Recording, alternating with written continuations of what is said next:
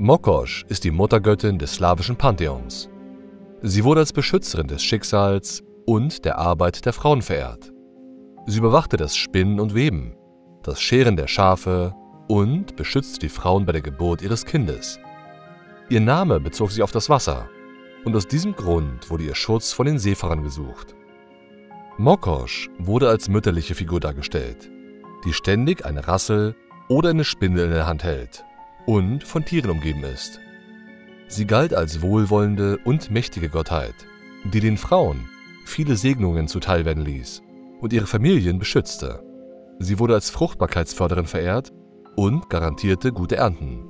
Bei Erntefesten wurden üblicherweise Tieropfer und Speisen wie Getreide und Brot dargebracht, um Mokosch für ihre Großzügigkeit zu danken und um künftigen Schutz und Wohlstand zu erbitten.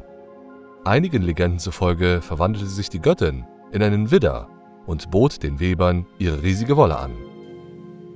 In anderen Mythen wurde die Göttin auch mit dem Zyklus von Leben und Tod in Verbindung gebracht, meist im Zusammenhang mit dem Zyklus der Jahreszeiten.